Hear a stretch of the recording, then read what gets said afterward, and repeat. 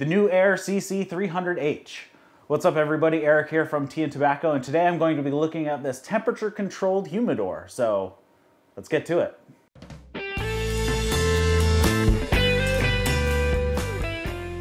So if you live in a place like I do, I live in New Hampshire and we have massive temperature swings from zero degrees to 100 degrees, from 0% humidity to 100% humidity. So we have huge swings throughout the year. Uh, luckily my house doesn't get too cold in the winter, but in the summer I definitely have problems keeping my house cool enough to maintain my cigars comfortably. Uh, last year, my office, which I'm in right now, got up to like 93 degrees, which is very not good for my cigars. Uh, so those are all stored currently below here in my coolador for the most part, but I may have a solution here with the Newair CC300H temperature controlled humidor. Now the H model also has heating. So if you're somewhere where if you want to put this out in your garage and it gets cold at night, then um, this might be the solution for you. So it's definitely going to be the solution for me, I think, especially in the summer with the cooling temperatures. So I'm gonna open this up and take a look at it. All right, so before I get too far into this, I wanna say what I really appreciated was how nicely packed this uh, item was. It wasn't like loosely in there. They got nice big pieces of foam at all the corners, holding it centered in the box. So that's cool. Uh, I don't see any damage from shipping. So that is wonderful. I'm a big fan of how well they packed uh, this unit in those boxes. So good job there. All right, so before I show you the features of this thing and show you it fully loaded, I do wanna let you know that there is a promo code for my viewers to get 20% off this unit. So if you go into the description, there is a link and a promo code, and that brings the price of this thing down to about $475. And spoiler alert for the rest of the video, I think it's totally worth it. It is a value buy at that price. So go check it out and um, we'll continue on. All right, so before I open this up, I'm gonna talk about it a little bit. This is the Newair CC300H, which means it also has heating capabilities. So the non-H models just have cooling capabilities. So if you're in an office like me, the coldest it gets in here is 66 degrees. I might only want the cooling capabilities because I don't really need the heating capabilities. But if you say want to put this out in your garage, you have an outdoor lounge, it gets cool at night, this will be able to raise the temperatures up to whatever you set it at, you know, 70 degrees or whatever you choose. Uh, another thing that's really cool about this is it uses thermoelectric elements instead of a compressor for the cooling. So basically just like the elements in your toaster, when you turn it on, they heat up as electricity runs through them and whatnot. The same principle is here that now there's technology that makes it a cooling element and that excess heat from the electrical current and whatnot is brought out to a heat sink in the back here, and then that is just exchanged with the surrounding temperature of the air and whatnot. So there's no you know compressor or anything on this, so you won't have that noise, you know, that buzzing when it turns on or whatever. So, all right, going into this thing, we have a nice glass front door. This is double paned glass. So just like your exterior windows or whatnot is double paned for the insulation. Um, so it should keep the temperature out here and in there um, optimal for what's supposed to be in there and you won't have as fast of exchange. Uh, the door has a seal just like a refrigerator. It's a nice rubber gasket with a magnet in it. So sucks it right onto the frame of this uh, this humidor. So that is very cool. So it makes a nice airtight uh, seal. There's also a lock. So there's a lock down here and you can lock this down and keep uh, kids out or just to, just to add a little bit more security for the door not swinging open or anything like that. All right, so getting into this thing, there are nice Spanish cedar trays. There are four of them that uh, all pull out. And then there are two um, kind of drawers here. And then one of them does come with a, a, little dish that you can use for humidification beads or whatever. That's probably, I'm gonna put some gel beads in here probably. So All right, let's get uh, moving on to seasoning this thing. All right, so to season this, just like any other humidor, what you want to do, you want to take a piece of uh, clean paper towel, uh, a new sponge, uh, clean rag, and uh, distilled water. And then you want to basically rub all the surfaces of the Spanish cedar down to get some moisture into them because they are super dry right now and they're gonna suck up a lot of moisture. So let's get through that.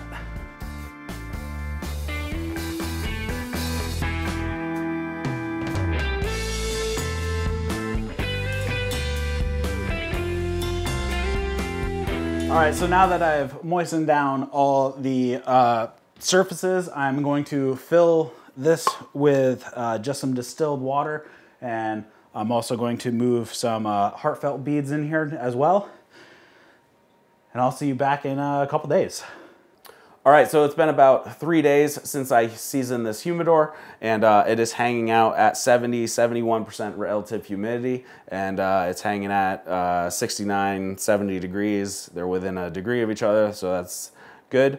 Um, so what I'm using for humidification right now is I have a random Boveda pack in there, a 69%, but uh, I am using the uh, gel beads in the container that came with this humidor, and then I have a jar of uh, the heartfelt you know silica beads that are 70% uh, relative humidity. So if you've ever seen any of my older videos, uh, I like to use both the gel and the silica beads and I really just add water to the gel beads and I allow like the heartfelt silica beads just to soak up the excess. So they're basically just fighting each other to stay in that equilibrium and uh, it's worked out very well for me for the past you know few years in my other humidor and in my coolador right here and that is the strategy that I go with. So overall, this humidor is awesome and I'm definitely going to make this my main humidor now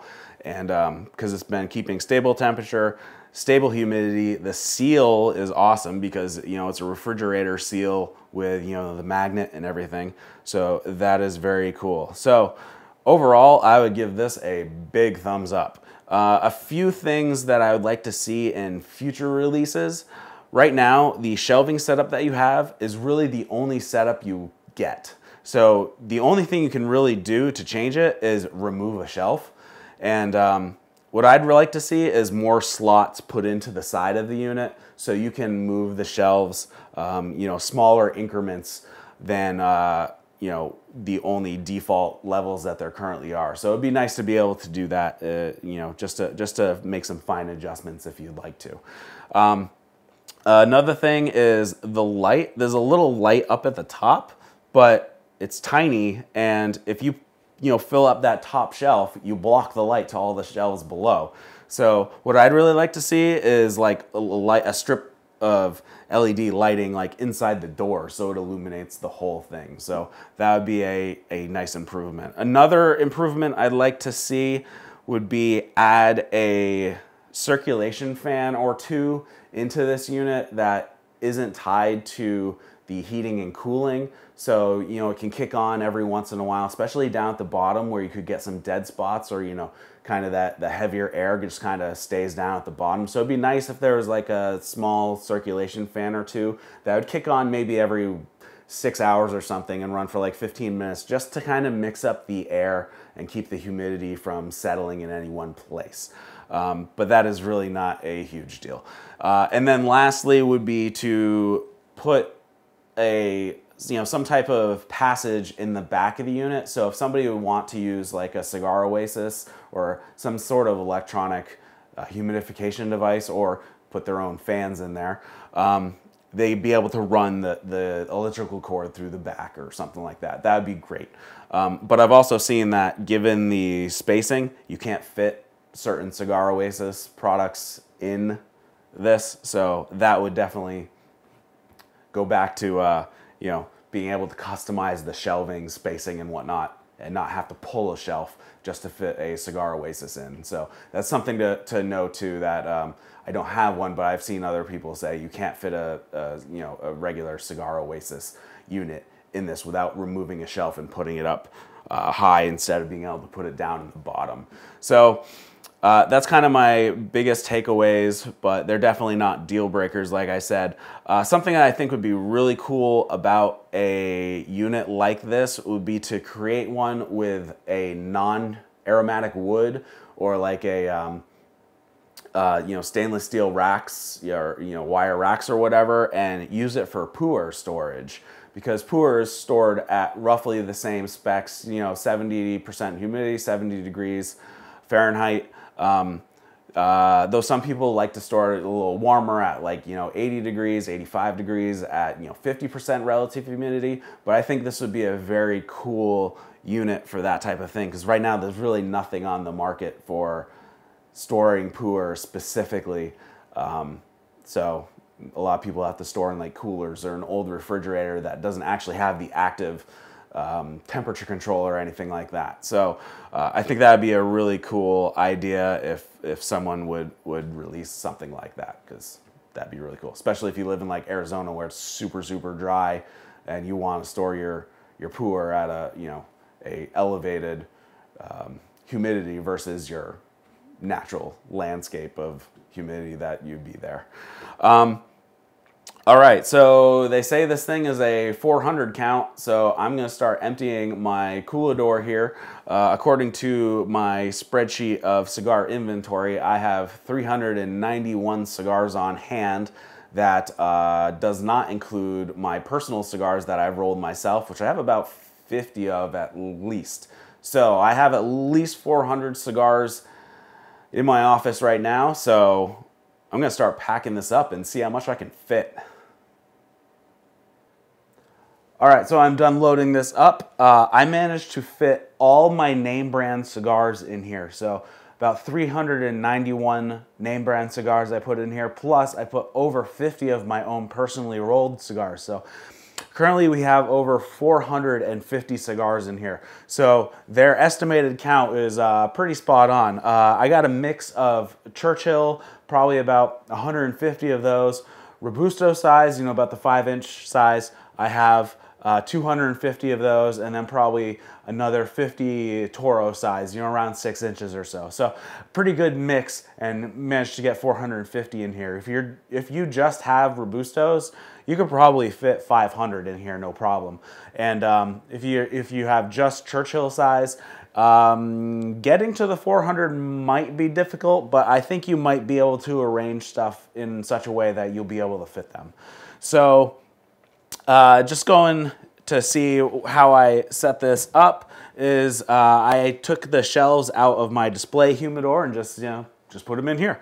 Um, they go all the way to the back and uh, leave about um, three quarters of an inch uh, of shelf left. And then I put pretty much Robusto size cigars uh, stacked, uh, kind of going perpendicular to the to the unit. And um, that's what I did for the this these shelves and this one down here. And then here I have a bunch of five packs just put in there and they're stacked three tall. Um, yeah, uh, the, for down below, you can easily fit a row of Churchills and then a row of Robustos stacked three high, or you can probably do two rows of uh, all Toros and um, those will fit just fine. And um, yeah, and then I have uh, another a small box and a few other five packs down below in the bottom, and leaving enough room for my uh, humidification. So, all in all, it definitely fits uh, as as advertised, and um, this is a pretty sweet humidor. Oh, also, uh, I have a little bit of wobble right here. That's okay. Um, you can actually the the feet you can screw them so they get longer or shorter so you can level out your uh, humidor. Just my floor right here is different than back in the corner where I pulled this out from. So uh, it's a little wobbly right now and I'll just have to adjust it when I put it back where it's going to live. So there you go. This has been a review of the Newair CC300H. Uh, if you are interested in this unit, you can go down into the description below and there is a link and a promo code to get 20% off this unit over at Newair, and that brings the price down to like $475 or so as of this recording. So totally worth the value, I think, for 475 bucks for a 450 count, for me at least, um, temperature controlled unit. So I think that's pretty sweet. So thanks for watching, everybody. Be sure to like and subscribe, comment questions, feedback down below. There's also a Discord server available if you want to come hang out and chat with us. That is down in the description. And I will see you next time on Tea and Tobacco. See you guys.